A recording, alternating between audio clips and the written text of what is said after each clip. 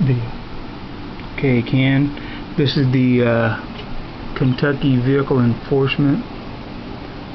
This is done on white, which, as you can see, it leaves the white border around those. Try to get this.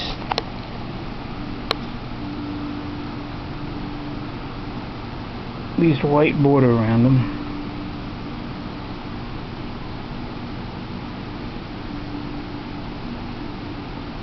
and because of the digital camera it's showing pixely and didn't want it to but and then here it is with uh, a colored border and then see how it fills in between the letters.